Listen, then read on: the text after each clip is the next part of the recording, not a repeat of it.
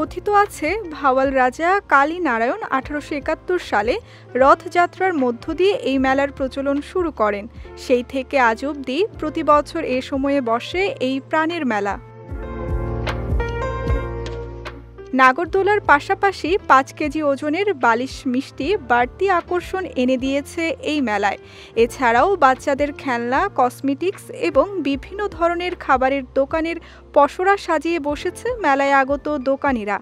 আর এইসব দোকানে ভিড় করছেন হাজারো দর্শনার্থী। দোকানিরা বলছেন, এবারের মেলায় বেচাকেনা বেশ ভালো হচ্ছে।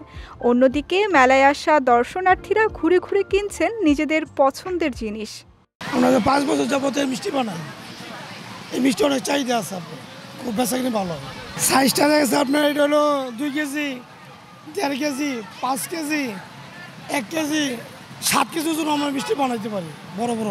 রথমেলায় আমি প্রায় সময় প্রতি বছর সময় পেলে আসি পরিবার নিয়ে প্লাস বন্ধু বান্ধব নিয়ে। আজকে আমার এক বাইকে নিয়ে আসছি। তো ভালো লাগতেছে মেলায় ঘুরতেছি। আর বাচ্চাদের জন্য জিনিস কেনাকাটা করব দেখতেছি। যেটা ভালো লাগে সেটা নেব আর কি। মেলাটা আমার কাছে খুবই ভালো লাগছে।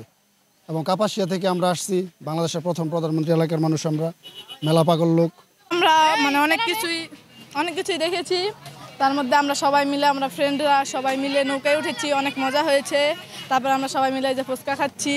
এদিকে মেলায় দর্শনার্থীদের নিরাপত্তা সহ সকল বিষয়ে সহায়তা দিতে আইন শৃঙ্খলা রক্ষাকারী বাহিনীর সদস্যরা কাজ করে যাচ্ছেন বলে জানিয়েছেন জেলা প্রশাসক। যেহেতু একটা উৎসব ধর্মীয় উৎসবের সাথে সাথে এটা বাংলার সাংস্কৃতিক উৎসব এখানে শুধুমাত্র যে সনাতন ধর্মের অনুসারীগণ যে এখানে যান তা না, সব ধর্মের অনুসারীরাই এখানে গিয়ে মেলা উপভোগ করেন। তা আমরা নিরাপত্তার জন্য মেট্রোপলিটন পুলিশ, পর্যাপ্ত পুলিশ এখানে নিয়োগ করেছে। আমাদের গোয়েন্দা সংস্থারা দেখছেন পুরোটাই একদম শুরু থেকে সেই দিন পর্যন্ত। আমরাও নিয়মিত এক্সিকিউটিভ ম্যাজিস্ট্রেট দ্বারা মনিটর করছি, যাতে চলাচল ব্যবস্থা সমন্বিত থাকে।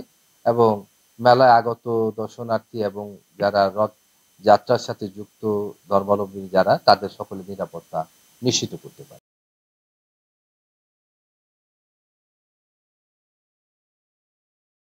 একশো তিপ্পান্ন বছর ধরে চলা এই মেলা আগামীতে বাঙালির এই বন্ধনকে আরও দৃঢ় করবে এমনটাই মনে করছেন সংশ্লিষ্টরা। Bijoy TV, news desk.